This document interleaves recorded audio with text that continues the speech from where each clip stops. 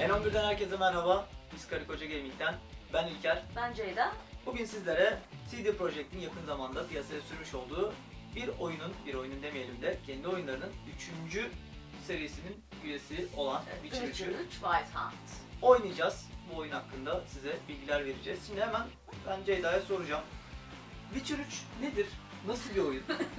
Aslında ben de hemen hemen aynı zamanda oynayan sevgili eşimin soru sorması biraz tuhaf oluyor ama siz ufak, bir bilgi geçelim. Ee, The Witcher 3 Wild Hunt ilk iki oyunun devamı olan bir oyun ve doğal olarak eğer önceki oyunları oynamadıysanız seriye biraz yabancı kalabilirsiniz. En azından hikayelerini okumanıza fayda var. Ve diğer oyunlara göre oynanış süresi bakımından neredeyse 2 veya 3 katı olan bir oyundan bahsediyoruz. Açık dünya öğeleri var. Ee, artı yani 100 saatten daha fazla oynanışa sahip. Ve yine ilk kahramanımız Geralt'ı kontrol etmeye devam ediyoruz. Onda hiçbir değişiklik yok. Buraya bir bilgi eklemekte e, fayda var. Daha evvelden Witcher serisinden 1 ve 2. oyunları oynamışsanız ve save'lerini saklamışsanız eğer oyunda hemen e, yükleme ekranında daha doğrusu oyuna başladığınız sırada size sorulan sorulardan bir tanesi e, önceki oyunlardaki save'inizi yani bu oyunun e, bilgilerini, karakter bilgilerini bu oyuna aktarmak istiyor musunuz? Buna evet derseniz hikaye ve senaryo buna göre şekilleniyor. Doğru. Hani biz eee, bunu henüz daha deneyemedik çünkü oyunun daha tadına yeni yeni varıyoruz. Yeni yeni oynuyoruz, yeni yeni inceliyoruz. Hani geçmişteki save'leri buraya taşımak gibi bir şeyi henüz daha yapmadık. Ne kadar değiştiriyor? Biz de eee, bu videodan sonra siz ne kadar eee, bilebiliyor olsanız biz de o kadar biliyor olacağız. Ama ileride kendi sitemizde bununla alakalı ekstra bilgilere mutlaka ulaşabileceksiniz. O zaman ben eee, kutudan çıkan ekstra materyallere şöyle bir göz atmak istiyorum. Çünkü bayağı bir zengin bir içeriği var. Şöyle. Burada dipnot geçelim. Şu an PlayStation 4 versiyonunu izliyorsunuz. Oyunun ayrıca PC ve Xbox One versiyonları da mevcut. Şu an biz PlayStation 4'te oyunun tadını çıkartıyoruz. Şöyle gördüğünüz gibi bayağı dolu bir içerikle geliyor. Bakalım içerisinde nelerimiz var. Soundtrack CD'si, oyunun müzikleri bu arada inanılmaz etkileyici ve çok güzel. Hani böyle İskoç müzikleri, İskoç notaları var içerisinde. Tabii onun dışında ufak tefek daha aksiyon ve maceraya odaklanmış müzikler de var. CD olarak direkt size ulaşıyor. Burada CD Projekt Red'in bize teşekkür ettiğinin bir ufak notu var. Bu arada buna ekstra bir şey daha söylemek istiyorum. Eğer e, Türkiye'den bilgisayar sürümünü alırsanız eğer, PC sürümünü alırsanız eğer e, bu yazı Türkçe geliyor. Hani PlayStation versiyonunda belki daha sonraki e, sürümlerde karşınıza çıkabilir ama doğrudan PC sürümünü aldığınız zaman bu böyle teşekkürler oyuncu başlığıyla Türkçe olarak geliyor. Evet, iki tane sticker'ımız var. Ee, bir tane Witcher 3'ün tabii ki yine İngilizce içerik olarak en azından Witcher 3'teki görüntüleyebileceğiniz veya tanımanız gereken karakterleri gösteren ufak bir kitapçık var. Yanılmıyorsam e, bu kitapçığın baş ve son kısımlarında Battle Arena ve e, Witcher House of Glass diye iki tane biri comic book, biri de e, DLC Kart paketiydi. Hı hı. Evet, special gift Kart oyunu. şeklinde. Bunların kodları yer alıyor. Bunları oyuna girerek ekstra içeriklere de buradan sahip oluyorsunuz. Ee, diğer bir game manual yani diğer bir kitapçığımız da oyun içerisindeki yani normalde oyun kendi tabii ki size gösteriyor işte şu tuşla şu büyü yapacaksınız veya bu tuşla şu saldırı yapacaksınız diye. Bunu İngilizce olarak direkt kitapçığından dilerseniz takip edebilirsiniz. İşin tabii ki en güzel yanı, oyunu kutulu almanızın en güzel yanı dijital yanında. Oyunun kendi haritasına ulaşabiliyorsunuz. Oyunun haritası şu büyüklükte. Bayağı büyük bir harita. Ayrıca tabii ki 100 saatten fazla dedik. Yalnız bu oyunun saatini arttırabiliyorsunuz arkadaşlar. 50 saat oyunun yaklaşık senaryosu hiç durmaz veya oyalanmazsanız. İşte NPC'lerle yani yapay zekayla çok fazla vakit harcamayıp konuşmazsanız. Yan görevleri girmezseniz 50 saatte oyunu bitirebiliyorsunuz. Ama böyle hani ben onun incine cincine gireyim, herkese yardım edeyim, kendimi geliştireyim, işte farklı bir karakterle farklı ilişkiyi yaşayayım diyorsanız ve en önemlisi bu artı 18. Cinsel öğeleri, kan öğeleri çok fazla. Bu yüzden artı 18 yaş kitlesine hitap eden bir oyundan bahsediyoruz. Devam etmek gerekirse oyununuz 200 veya 200 saatten daha fazla ulaştırma şansına sahipsiniz. CD Projekt Red'in en, en önemli etkilerinden biri de şu 16 tane indirilebilir içeriğin ücretsiz olarak veriyor. İlk 4 tanesi çıktı bile. E, direkt hani bunu ücretsiz olarak temin ediyorsunuz bu indirilebilir içerikleri ve hatta bu videoyu izlediğinizde belki de yeni indirilebilir içerikler de gelmiş olacak ve yıl sonuna kadar da 16 indirilebilir içeriği tamamlamayı düşünüyorlar. Böyle düzenli olarak e, oyuna update'ler geliyor. Oyunun hem bilgisayar versiyonunda hem de e, PlayStation sürümlerinde olmak üzere böyle siz bunları düzenli olarak kontrol edin. Sürekli böyle hani e, o güncellemeleri veya işte internet bağlantınıza bağlanmış olabilirsiniz ama bunları sıklıkla kontrol edin. Hani birazcık daha iyileştirmeler, performans artışları, oyuna gelen ekleri kaçırmayın.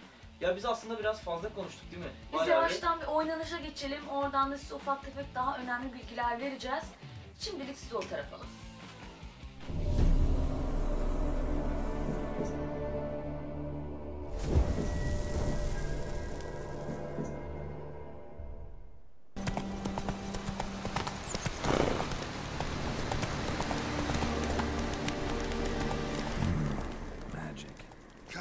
Hikaye odaklı, etkileyici görsellerle bezenmiş bir rol yapma oyunu ile karşı karşıyayız. Oyun içinde elde edeceğiniz ganimetlerle silahlarınızı geliştirebilir, özel zırhlarla kendinizi donatabilirsiniz. Ya da hepsini bir kenara koyarak at yarışlarına, kart oyunlarına, kavgalara ve gecenin getirdiği diğer zevklere yönelebilirsiniz. Edepsizliğin dibine vurmak ya da savaşın içerisinde kendinizi bulmak. Seçim tamamen sizin.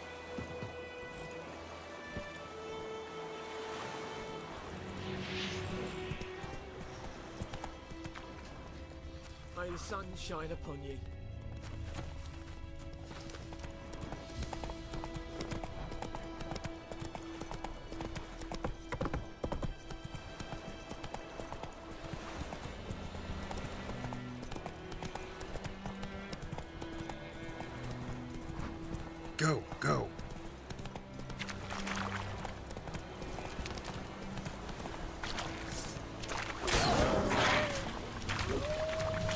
Ucu bucağı belli olmayan serüvenlere yelken açacağınız bir oyun olan The Witcher ile video oyunları tarihindeki en uzun maceralardan birini yaşayabilirsiniz. Fantastik bir dünyada iyi ve kötü olmak tamamen sizin elinizde.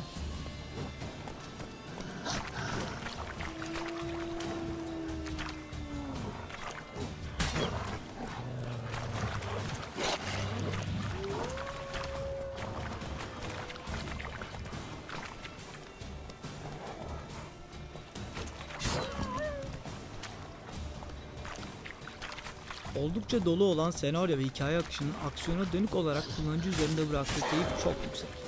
Büyüler yapmak, at üstünde kılıç sallamak, birden fazla düşmanla aynı anda ölüm kalım mücadelesi vermek. Zor dediğiniz oyunları bir kez daha gözden geçirin. Witcher bazı görevlerde gerçekten hırs yaptırabiliyor.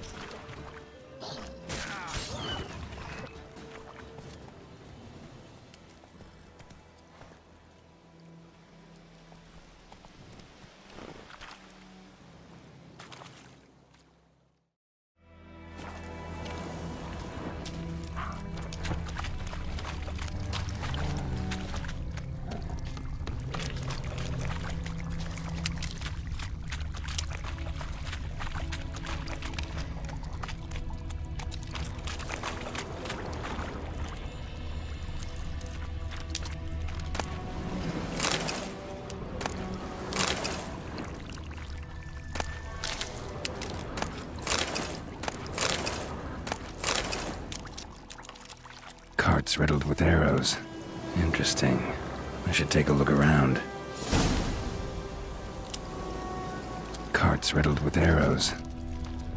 Sadece yeni nesil donanıma uygun olarak hazırlanan Red Engine 4, The Witcher dünyasının organik ve nüanslı görselliğini sunmakta.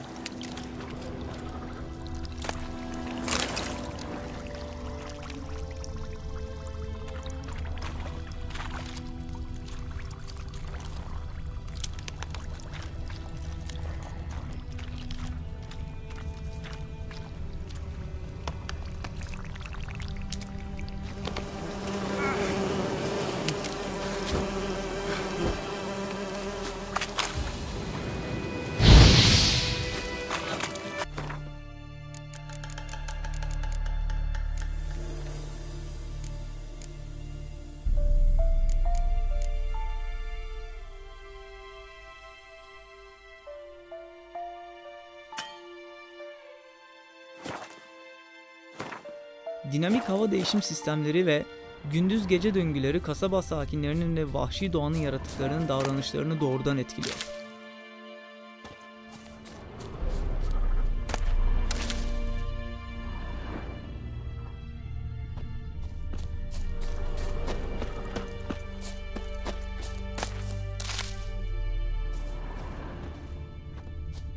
Oyundaki amacımız dünyanın hem yok oluşuna hem de yok oluşuna işaret edilen kehanet çocuğunu yakalamak için yola koyulmak. Fakat konu tam olarak da bu kadar da değil. Etrafta girip çıkılabilecek onlarca ve bizi bekleyen çuvalla yan görev varken ana hikayeyi bir çırpıda kimsenin bitirmek isteyeceğini sanmıyorum.